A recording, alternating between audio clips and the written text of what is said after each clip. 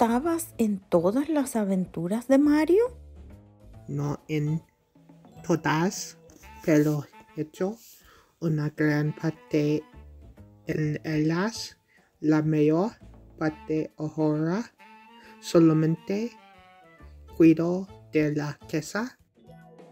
¿Cuidas la casa? Sí.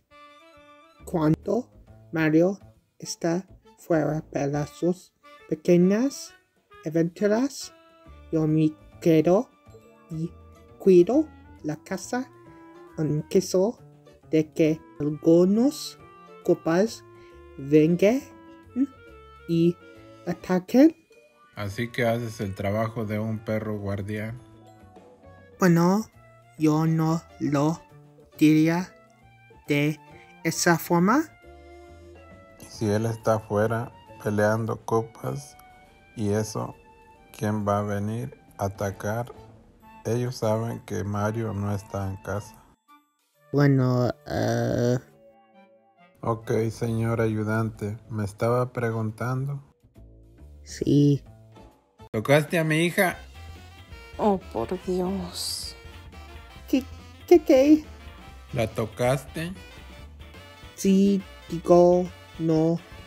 Yo solo besé mi brazo al dedo del de ella mientras veníamos una película. Yo no toqué las partes divertidas. ¿Partes divertidas?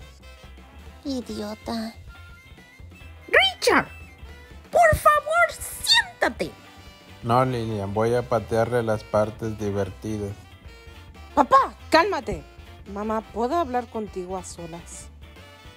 No me dejes solo aquí. Ustedes están arruinando todo. ¿Por qué no detuviste a papá de ponerse loco?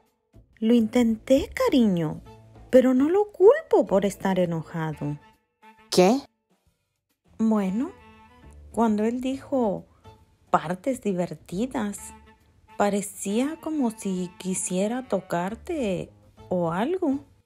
Él solamente estaba nervioso. No creo que él haya pensado que conocería a mis padres en la primera cita.